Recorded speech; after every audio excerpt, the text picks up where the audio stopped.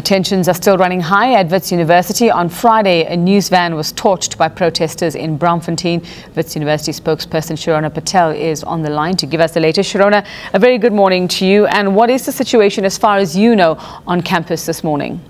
Good morning, Rebecca. So, um, following Friday night's uh, incidents in Braamfontein, uh, we have had both on Saturday night and last night um, cases where uh, protesting students did not want to stay in their residences. Um, they came out, they threw rocks at buildings, they've smashed windows, and they've tried to put rocks across road to barricade it. We've had the security and the police on standby. Um, they've been uh, they, they, were called, they were on campus last night, and they've managed to remove all the rubble, all the rocks, and we are in the process of cleaning up the broken glass. Um, so that has happened overnight. Uh, that's uh, Saturday night and Sunday. However, despite all of this, the university will uh, reopen today again and we'll continue with the academic program as planned.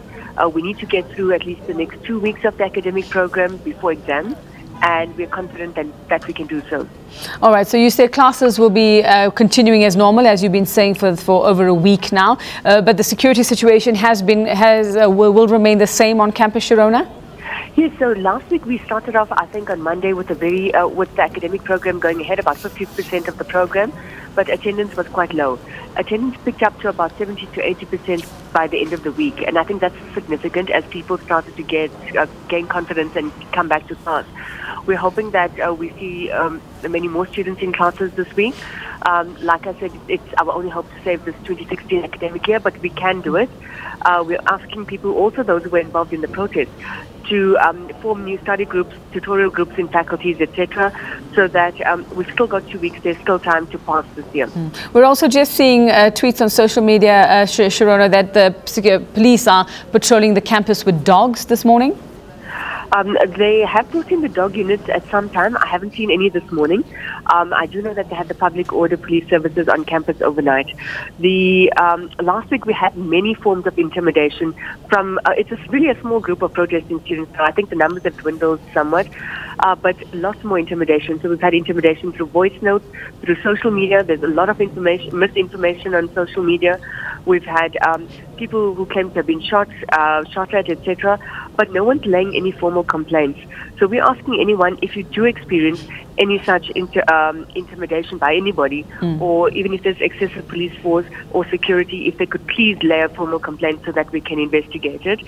Um, I think from the university side, we are just doing whatever we can to keep people, lives, and our property as safe as possible. And um, in order to finish this academic year. Uh, Shirona, just going to the arrests uh, at the weekend, we saw the arrest of um, uh, Mcebo Dlamini. Uh, we were still uh, looking for uh, sort of any information as to why he was arrested, what the charges are. Do you have any idea what that arrest was all about? Unfortunately, not Uveka. We know that he was arrested in the early hours of um, Sunday morning. Uh, we were only aware that he was arrested when uh, the uh, warden contacted um, management about it. So it's an independent police process, um, which Wits was not party to. At this stage, we still don't know what he has been arrested for. Um, we know that he will appear in court this morning. Uh, but that's as much as we know. We know that the police has uh, they issued a statement yesterday, but you'd have to get further details mm. from them. All right, and Wits student leaders accusing the university of having a, a so-called hit list of uh, of uh, protest leaders that, that that you want arrested. Your response to that, Shirona? That's absolutely untrue. You know, I got that same question on Friday from one of the newspapers. That's absolutely untrue. We haven't, we don't have a hit list. We haven't given any hit list to the police. And I think that uh, he should provide evidence of this if this is what he's saying. We don't have a hit list. We haven't given anything to police. Um, the arrest on in the early hours of Sunday morning was made by the police, and I think we should ask them, you know, um, what the reasons are for for that. I think from our side, we were only told about it when it happened. Okay, so despite what's happened at the weekend, despite even protests last night with damage caused, you will urge students to come to class today. Absolutely. We have to get through the next two weeks. And um, the most, uh, we're also seeing that our students are a lot more resilient.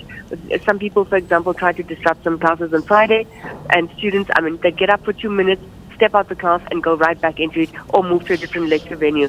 And I think we have to just keep at it for the next two weeks, take back our university, and complete that 2016 academic year.